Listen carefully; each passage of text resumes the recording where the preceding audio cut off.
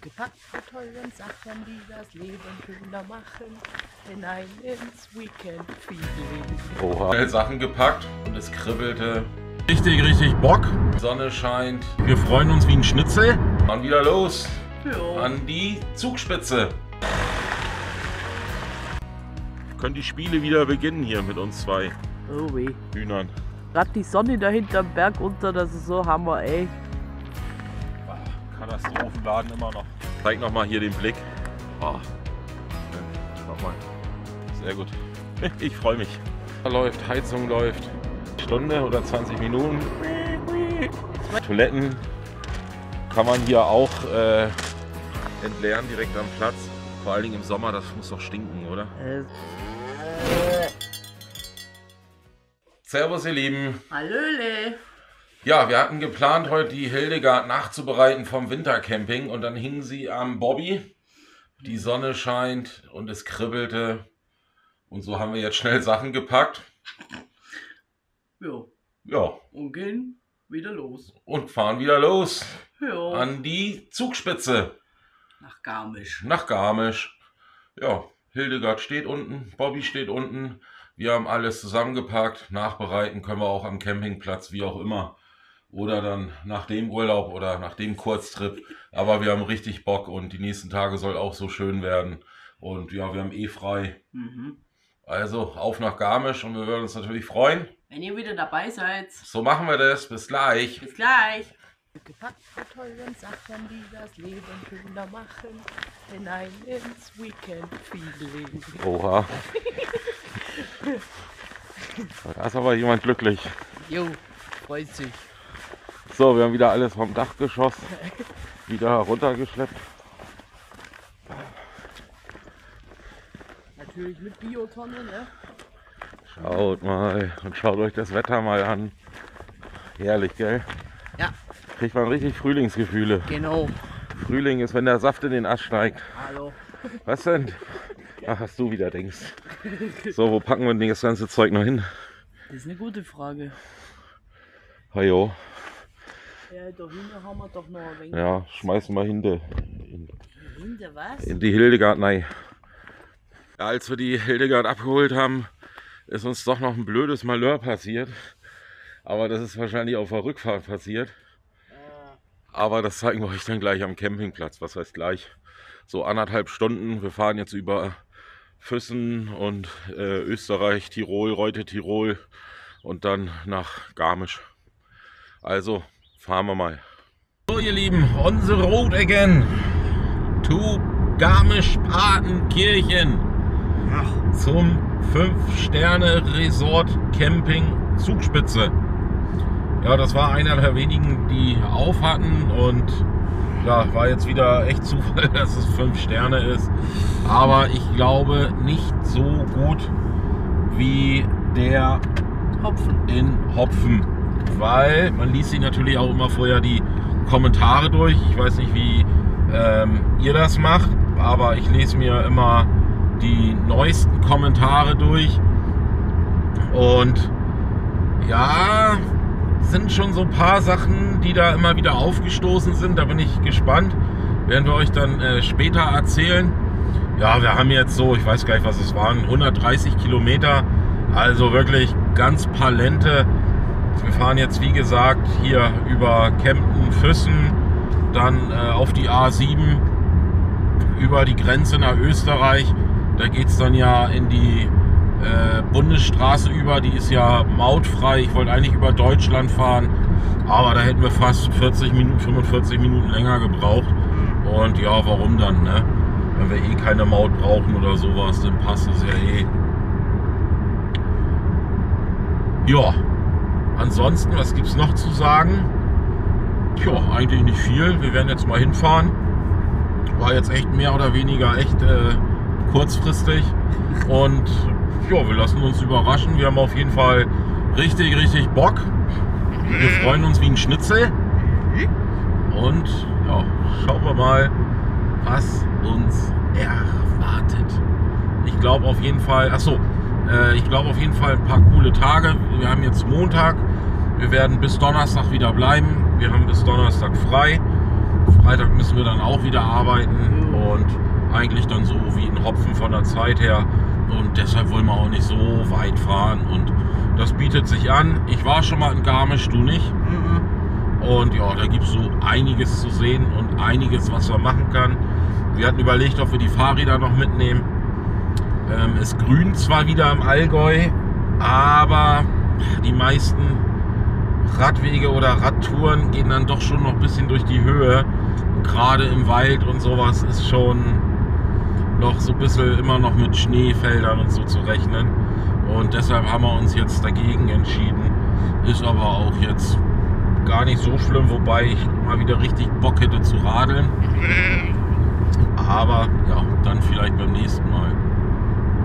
Ja, so schaut das aus. Und dann würde ich sagen, auf nach Garmisch-Partenkirchen. Bis später. Bis später.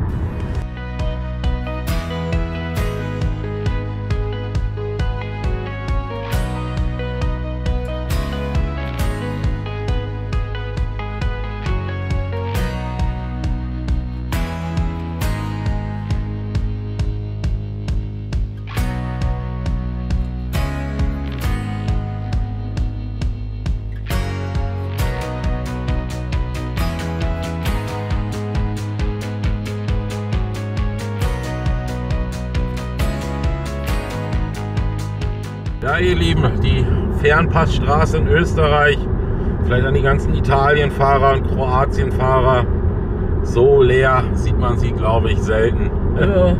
Ast rein. So lässt sich's doch fahren, oder? ja. Ich musste erstmal gerade nachgucken, wie schnell ich denn mit Gespann überhaupt fahren darf. Hier auf Österreichs Landstraßen und Google hat mir 80 gesagt. Dann äh, machen wir das natürlich auch, ne? Und immer darauf achten, dass man nicht auf die Autobahn kommt. Aber das ist hier ganz gut, immer der Landstraße nach. Der folgen wir so 25 Kilometer. Und ja, dann müssen wir abfahren auf 187. Oh, das passt schon. Wir haben jetzt noch 40 Kilometer. Und ja, freuen uns, wenn wir dann auch da sind. Und ja, wir haben draußen fast ähm, 13. 13 Grad plus, also 14 Grad fast. Äh, ja, herrlich. Weiß nicht, ob das noch zu Wintercamping zählt. Äh, Hm. schauen wir mal. Wir fahren den währenddessen mal ein bisschen weiter. Bis gleich. Bis gleich. Ihr Lieben, der erste Blick auf die Zugspitze, ist das nicht herrlich? Och, sieht das geil aus. Also das ist hier schon wirklich äh, Landstraßenromantik, muss man sagen. Also wirklich toll, klasse. Oder? Was sagst du dazu? Jo, bin gerade so fasziniert von den Bergen.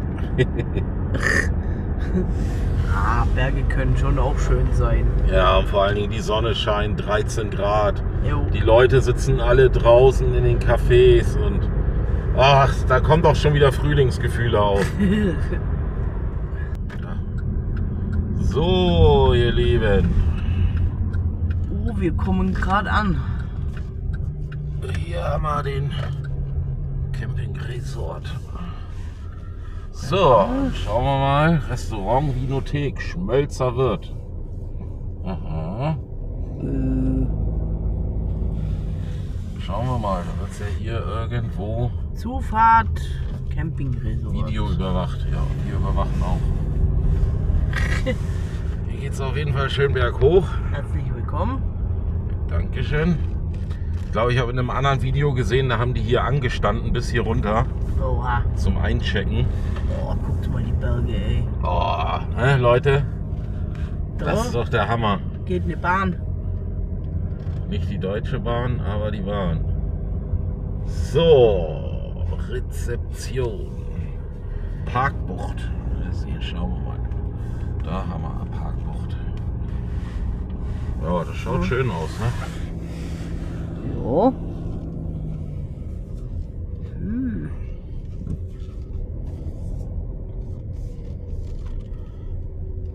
Eieiei, guckt mal. Mit B-Bahn. Da fahren die doch noch Ski.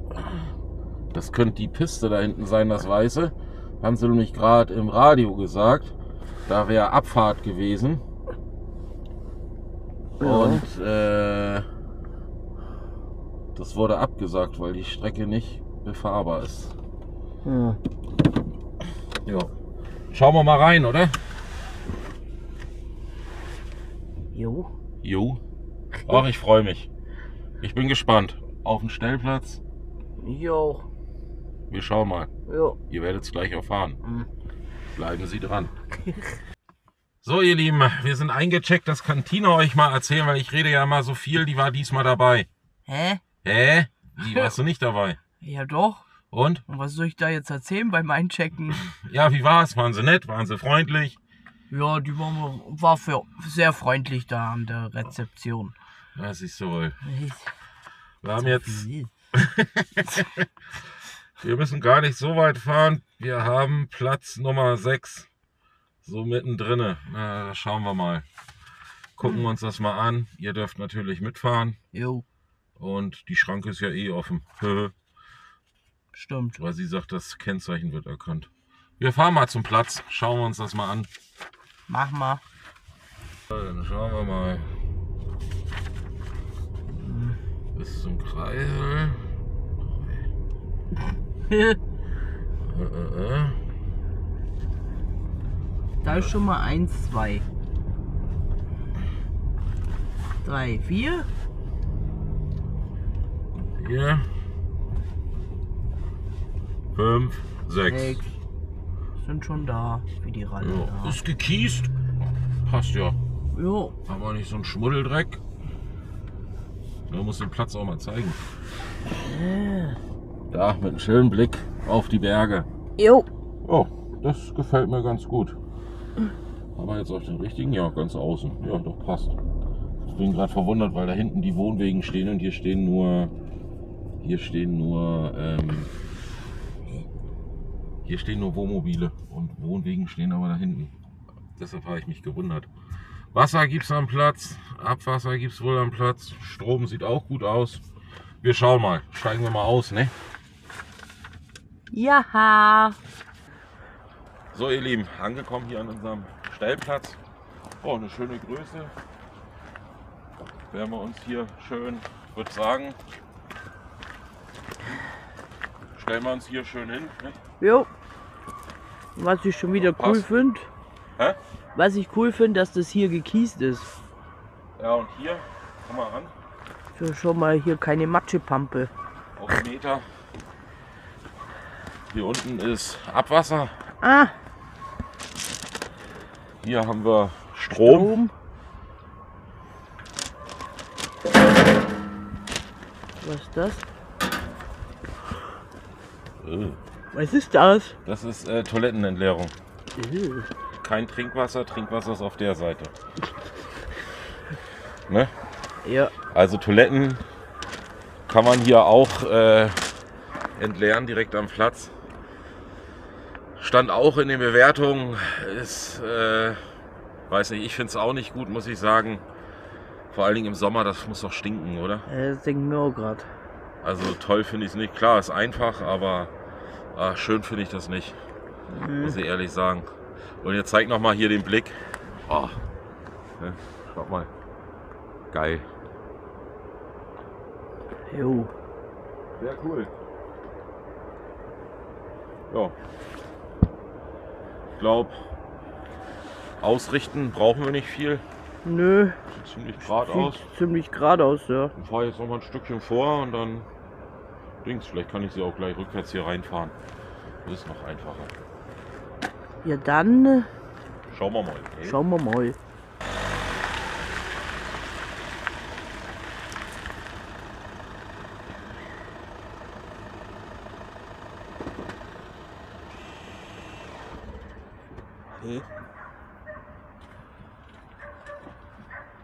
Lieblingsbeschäftigung vom Flo. Muss ein bisschen dichter kommen, sonst versteht man. Move on. Ja, muss sein, ne?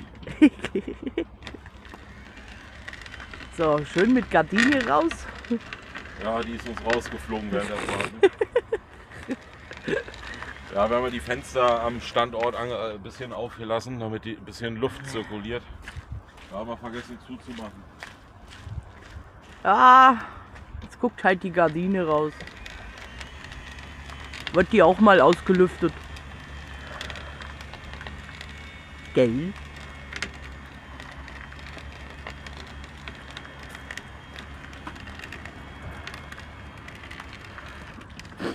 Wir haben auf jeden Fall, sollte das Wasser hier funktionieren, keinen weiten Weg zum Wasser auffüllen. Das stimmt.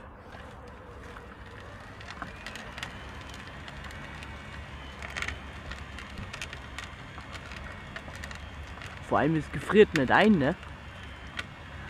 Aber wobei hier schon ein bisschen fresh, hier ist Ja. jetzt keine Sonne. Hier ist frischer.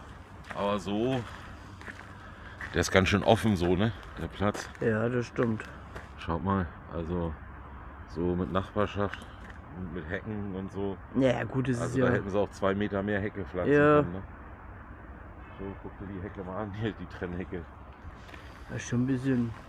Äh, schon sehr offen, ne? Ja. Na ja, gut.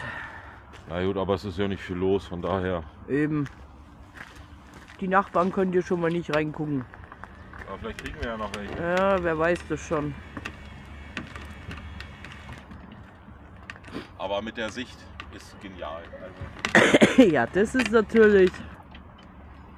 Das Panorama ist Hammer.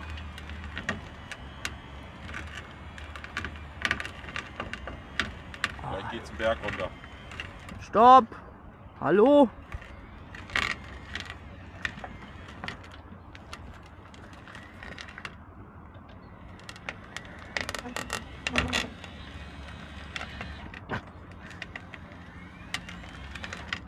So, oder? Was? Was? Ich würde noch ein Stück vor. Ist das so eng? Du musst noch die Stützen runter machen. Denk dran. Ja, die sind ja weiter hier vorne. Das ist super, dann brauche ich mich nicht so bücken. Naja, wenn wir heute Abend im Graben liegen, dann wissen wir's. Ach was. Wäre bei uns ja nicht so ungewöhnlich, ne? Der Kind nix im Grabe. Doch. Können wir das Auto dann jetzt hier so hinstellen? Eigentlich ja, ne? Gehört ja Mhm. hier noch so zum Platz. Wieso? Aber man Das, hat hier schon schön Fläche, ne? das ja, ist wir doch unser ganzes Platz, der ganze Platz hier nutzen. Ja, Kannst du dein Auto da hinstellen? bisschen schief steht er noch. Hier. Hajo. Abeng. So, dann schauen wir mal, was das, was die Wasserwaage sagt, nicht? Oh. Guck mal euch das an, hey, da geht jetzt gerade die Sonne da hinterm Berg unter, das ist so Hammer, ey. Ja, die ist gerade weg, ne? Ja, Was haben wir jetzt? Wie spät? Gucken. Ja, 10 vor 3. aber es ist ein Hammerbild, wie das gerade untergeht.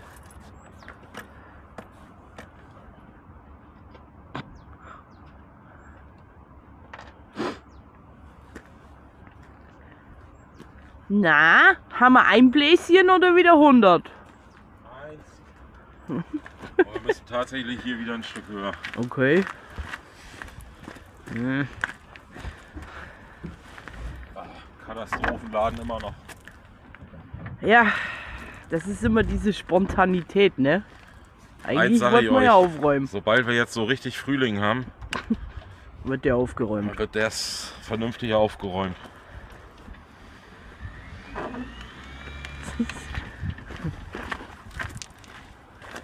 Das war ja eigentlich unser Plan, aber irgendwie. Hm.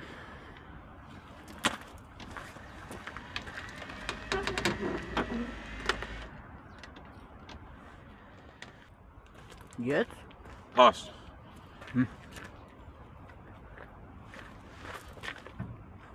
Oh, Handbremse anziehen. du aber weit hoch müssen, du. Auch wenn einige sagen, sie ziehen sie nicht an, haben sie in die Kommentare geschrieben. Aber wenn ich da auf so einem Ding stehe, also ich ziehe sie an. Äh, Wie macht ihr denn das, wenn ihr steht? Würde mich mal interessieren, weil wir haben ja so einige Kommentare bekommen, so beim Wintercamping. Was ich auch immer echt super finde. Und ich nehme euch das auch nicht krumm. nö. Aber klar, ich kann da jetzt, schaut mal, ich kann da jetzt einen Keil hinmachen. Ne, den mache ich sowieso hin. Aber ich ziehe doch dann, wenn ich so stehe, ziehe ich doch die Bremse an, oder nicht? Ja, Also ich bin ich auch. der Meinung. Äh, also ich würde das auch machen.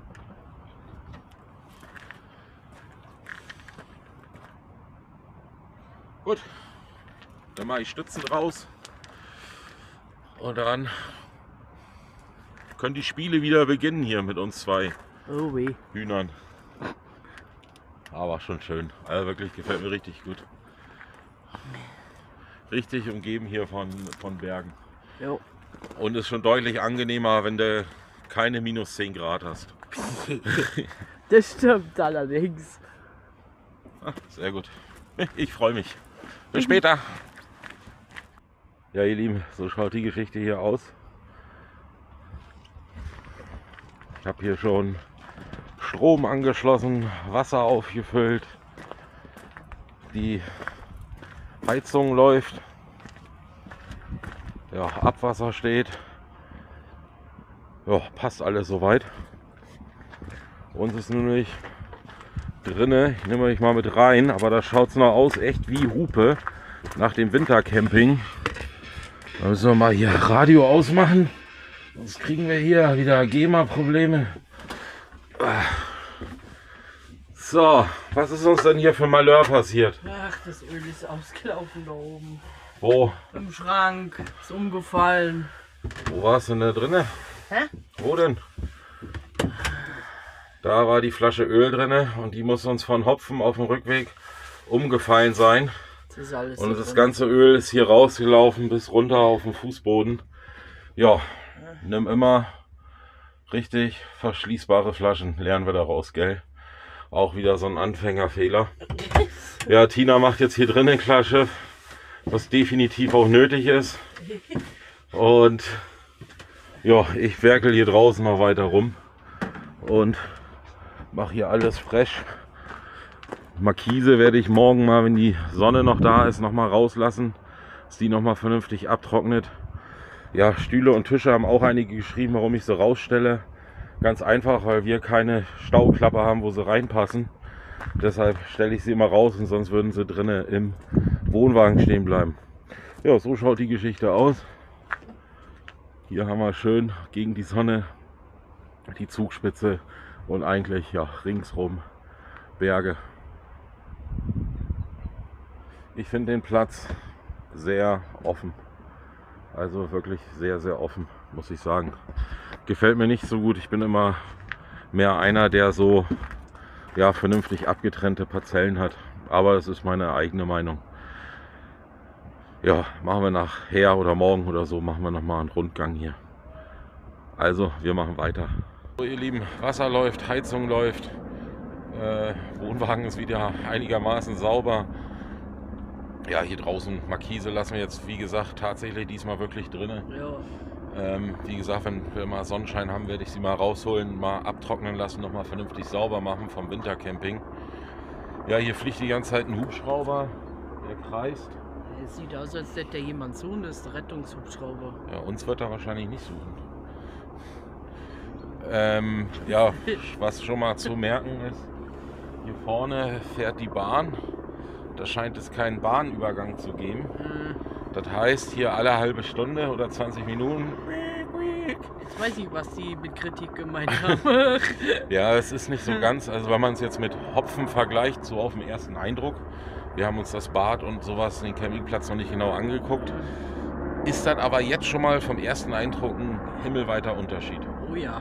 Das muss man wirklich sagen. Aber ich, wir sind ja auch verwöhnt worden, ne? Ja, Von wir sind auch- ja, das stimmt. Äh, Aber guck mal, schon der Hintergrund allein hier in der Kamera sieht schon großartig aus. Ja, in dem Fall, wir werden jetzt mal einkaufen. Ähm, ich habe Lust auf was Warmes zu essen. Tina eher auf eine Brotzeit. Und ich habe richtig Knast. Ich glaube, das gibt einen richtig schönen Döner oder so. Mal gucken. Hier soll in 650 Metern Edeka sein. Den werden wir mal ansteuern. Ja, und dann gucken wir mal, ne? Wie der Tag noch so fair läuft. Ähm, was wollte ich noch sagen? Ach so, ja, ich habe ja Bilder gepostet und ähm, ja, erstmal auch mal vielen, vielen Dank für die ganzen Rückmeldungen, auch beim Wintercamping und vielen, vielen Dank an die ganzen neuen Abonnenten und Nachrichten, E-Mails und ach, was wir alles bekommen haben. Und ja, viele, die erzählt haben, wie sie die Videos gucken und ach, mit der Frau abends schön Videoabend und Allgäu-Camper gucken. Das ist irgendwie völlig verrückt. Auch die Wurzelsepp, die wir hatten, Tina häkelt sich schon die Hände wund, weil jeder möchte irgendwie einen Wurzelsepp haben und äh, wir sind eigentlich überwältigt. Also echt klasse, wir freuen uns da wirklich drüber. Mal einen fetten Daumen an euch. Vielen, vielen Dank, dass ihr so treu seid und ja, uns immer begleitet. Freuen wir uns wirklich sehr drüber. Noch liebe Grüße an die Melli. Gewöhn dir bitte nicht so das Yo an. ah, das ist so ein kleiner Insider, glaube ich. Ich glaube, sie weiß, wen ich meine. Ja, die eine oder andere gewöhnt sich auch schon das Jo an. Ja, Tina kann es nicht abgewöhnen, aber ist auch Schwer. völlig egal. Wir fahren jetzt einkaufen. Also bis später. Morgen, ihr Lieben. Guten Morgen. Ja, wir müssen noch den gestrigen Tag abschließen, weil wir haben tatsächlich gestern nicht mehr gefilmt. Wir waren ja noch einkaufen und ja, dann haben wir noch in Ruhe hier gemuffelt, wollte ich gerade sagen, was gegessen und haben den Abend eigentlich mal so ein bisschen äh, ausklingen lassen. Ja, ähm, der Campingplatz, wir haben uns das noch ein bisschen angeschaut, also jetzt noch nicht intensiv, aber ja, so ein bisschen halt, ne? Und ja, es ist wirklich tatsächlich so, der Zug hier, ich glaube ab 6 Uhr morgens, ne? Also der hupt einmal kräftig und das geht jetzt immer alle 20 Minuten oder eine halbe Stunde. Ich empfinde es jetzt nicht so schlimm. Man muss aber auch dazu sagen, wir haben halt jetzt Winter, ne? Also hier ist alles dicht im Wohnwagen. Wenn du im Sommer die Luken auf hast, dann ja, ist das schon natürlich äh, lauter. Ne? Naja, mir ist es egal, ich habe Europax drin. Ach.